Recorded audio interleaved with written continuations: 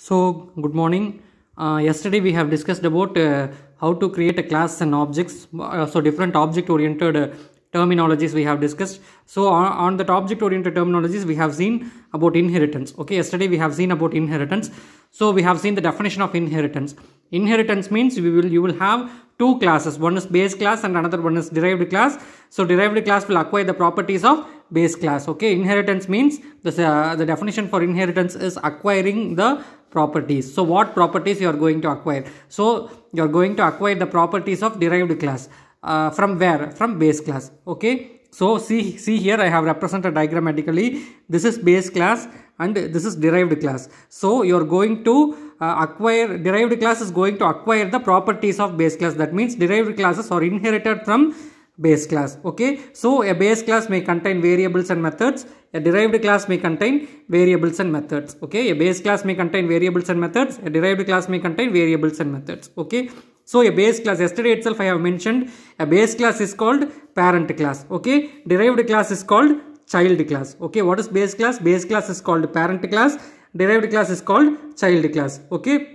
So so yesterday we have seen an example how to access the members uh, members stored inside the class. So the members stored inside the class can be accessed with the help of what? Objects. Okay, with the help of objects you can access the members stored inside the class. So there may be an object for base class, there may be an object for derived class. But here, uh, here you see clearly derived class is acquiring the properties of base class. Okay, derived class acquiring the properties of base class okay so these two classes are interrelated. Okay these two classes are interrelated. If you create object for derived class with the help of this object you can also access the derived class and also you can access the base class. So there is no need for creating object in the base class. Are you clear? Why we are why we are creating object only in the derived class? Because so derived class and base class are linked together. So derived class, so derived class is derived from where? From its parent class. What is its parent class?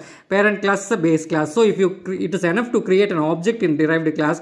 With the help of this object, you can acquire the properties of base class okay so there are different types of inheritance in python programming first inheritance we are going to discuss about single inheritance okay what is the first inheritance single inheritance a single inheritance is an inheritance which has only one base class and one derived class. A single inheritance is an inheritance which has only one base class and one derived class. See here. So derived class is acquiring the properties of base class. So that arrow is represented from down to up. So derived class uh, is acquiring the properties of base class. So you are putting arrow from down to up. So base class. What is base class? Base class is a parent class.